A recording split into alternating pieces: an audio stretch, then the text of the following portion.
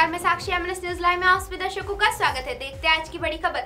Cement plant से एक मजदूर 24 घंटे से लापता। गेट के सामने परिजनों ने किया चक्का जाम। बलौदा बाज़ार ज़िले के रिश्ता स्थित एक सीमेंट प्लांट से एक मजदूर के गायब होने का मामला सामने आया है। मजदूर को लापता हुए 24 घंटे से भी ज़्यादा का समय बीत चुका है। उसका कोई पता न लगने की वजह से परिजनों और ग्रामीणों ने चक्का जाम कर दिया है। बताया जा रहा है कि प्लांट में जाते समय उसकी पंचिंग भी नज़र आ रही है। वहीं पार्किंग में मजदूर की गाड़ी भी खड़ी है।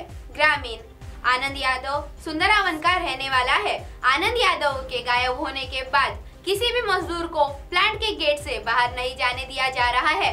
मजदूर के परिजन ग्रामीण गेट के सामने बैठकर धरना दे रहे हैं। मौके पर पहुंचकर पुलिस भी जाँच में जुट गई है। गाँव में तनाव का माहौल बरकरार है। तो एम न्यूज़ लाइव की खबर देखने के लिए आज ही प्ले स्टोर से एम हिंदी ऐप डाउनलोड करें और हमारी न्यूज़ के अपडेट पाने के लिए चैनल को सब्सक्राइब करो बेलाइकन दबाना ना भूलें। धन्यवाद।